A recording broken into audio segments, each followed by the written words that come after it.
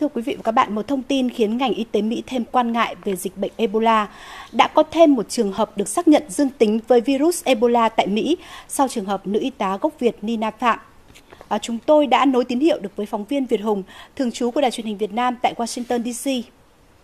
À, xin chào anh Việt Hùng. Anh có thể cho biết những thông tin cụ thể hơn về ca nhiễm Ebola thứ hai trên đất Mỹ ạ? Chào chị Hương Linh và khán giả.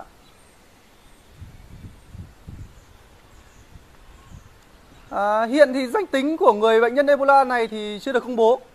Tuy nhiên theo người phát ngôn ờ, của Sở Y tế bang Texas là bà Kerry William thì người này cũng là một nhân viên y tế ở bệnh viện cơ đốc Dallas và đã từng chăm sóc cho bệnh nhân Thomas Duncan là người đã tử vong đầu tiên ờ, vì virus Ebola ở Mỹ sau khi trở về trở về từ Tây Phi.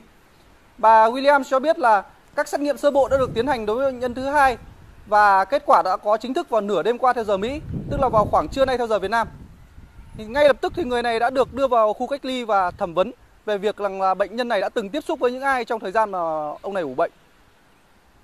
À, vậy các quan chức và các chuyên gia y tế Mỹ sẽ nói gì về ca nhiễm thứ hai trên đất Mỹ này thưa anh?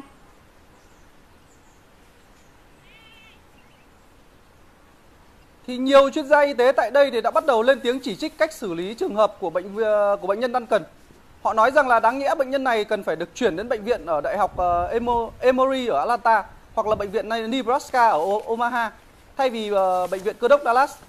Bởi vì những bệnh viện trên là hai trong số 4 bệnh viện mà có đầy đủ thiết bị nhất trong việc ngăn chặn nguy cơ lây nhiễm cũng như là là những bệnh viện mà có kinh nghiệm trong nhiều năm trong đối phó với các cái loại bệnh có nguy cơ truyền nhiễm cao như Ebola. Tuy nhiên, thì ờ, người phát ngôn ờ, của Sở Y tế bang Texas bà Carrie William thì đã cố gắng chấn an mọi người về khả năng chống khống chế Ebola tại đây. Bà William thì cho biết rằng là số người có thể phơi nhiễm qua tiếp xúc với bệnh nhân thứ hai là không nhiều. Bởi vì Ebola thì chỉ có thể lây nhiễm khi mà bệnh nhân đã thể hiện các triệu chứng mang bệnh. Và đối với các bệnh ca này ấy, thì cái khoảng thời gian mà từ lúc bệnh nhân có triệu chứng đến mà lúc đến lúc bị cách ly là chưa đầy nửa ngày. Xin mời trường quay ạ.